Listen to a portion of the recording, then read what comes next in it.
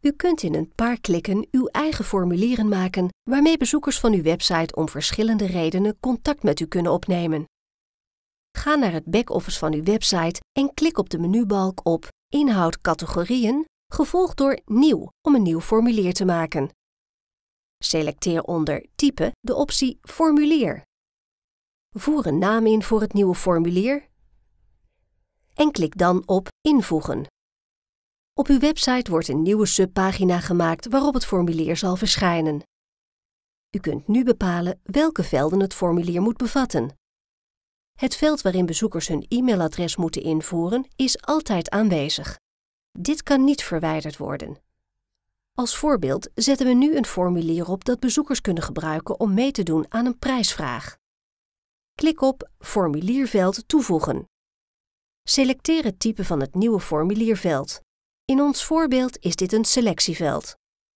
Rechts vindt u een uitleg over de afzonderlijke typen.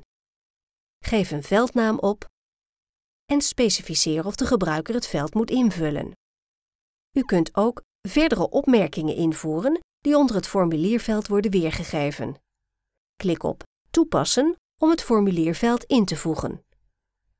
Wanneer u uw cursor nu over het zojuist gemaakte veld beweegt, verschijnen rechts van het veld drie pictogrammen.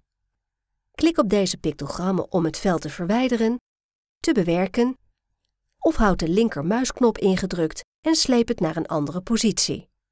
Voor het formuliertype selectieveld moeten de opties vooraf gedefinieerd worden. Daarom gaan we dit veld nu bewerken. Onder Waarden in selectieveld kunt u de mogelijke antwoorden invoeren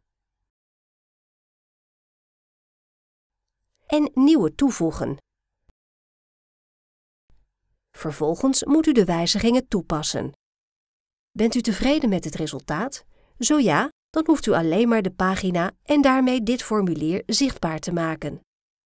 U doet dit door op Zichtbaarheid op de multifunctionele balk te klikken. Selecteer de relevante optie en klik op Toepassen. Sla de pagina op.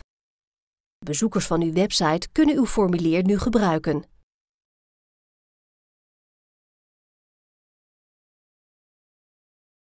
Uw website heeft standaard een contactformulier.